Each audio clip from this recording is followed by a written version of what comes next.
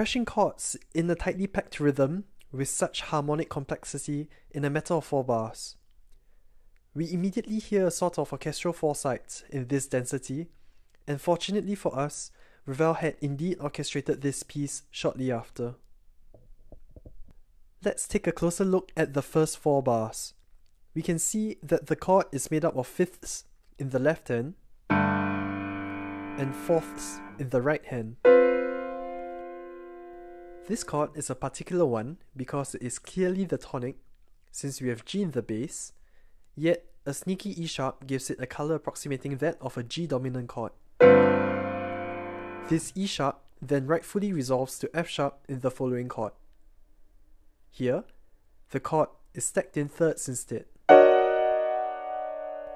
And isn't it interesting how Ravel uses almost all the black keys on the piano, compared to all the white keys in the first chord?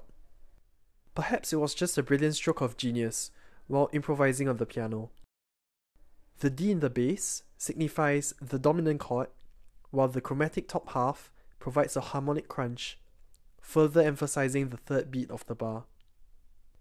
In the next bar, we have more or less the same concept. The first chord has fifths in the left hand and fourths in the right, with the right hand being shifted a step downwards.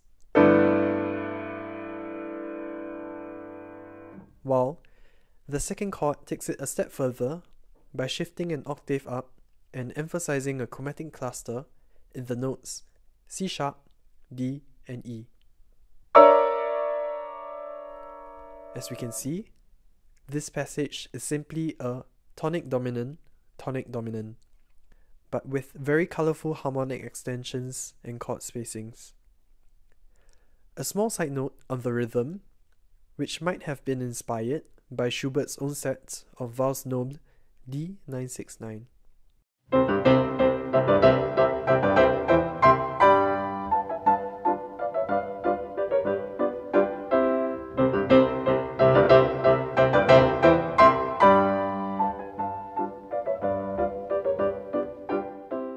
Moving on, we're going to take a look at this small mischievous melody in the middle section.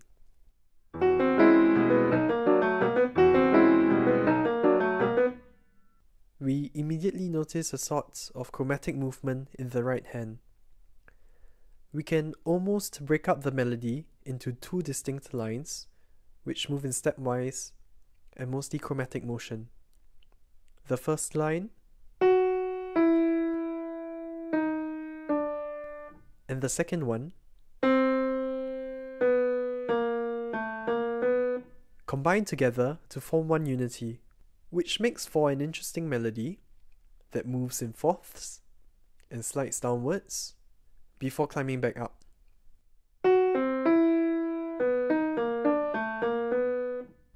Looking at the left hand, we can deduce the harmony to be moving simply from a tonic chord to the dominant chord in predominantly E major.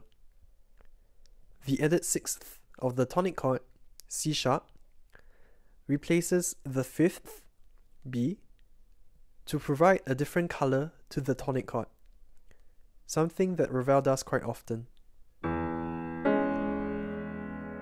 We also notice a small chromatic line that passes from G sharp to F double sharp to F sharp, then back up.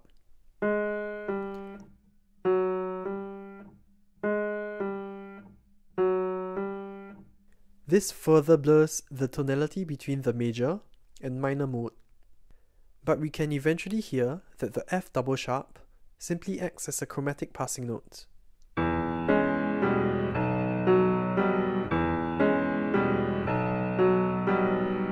A similar concept can be seen in the first movement of Ravel's Ma Mère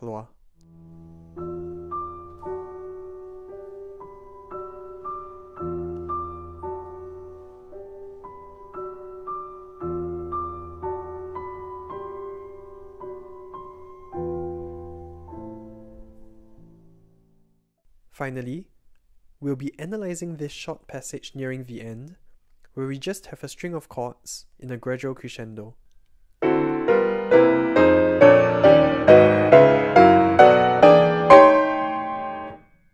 The first thing we notice is that the melody is simply a chromatic line upwards.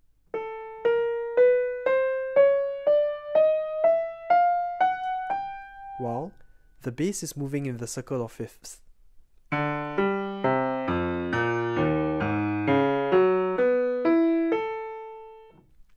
What we then would have would be a different intervallic relationship between melody and bass. Perfect fifth, minor third, major seventh, which loops again every three chords.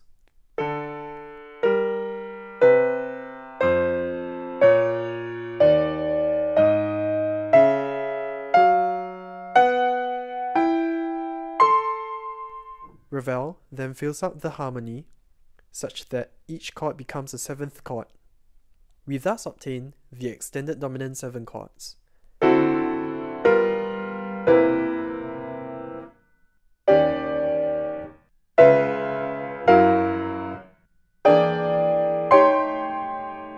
Minor seven chords.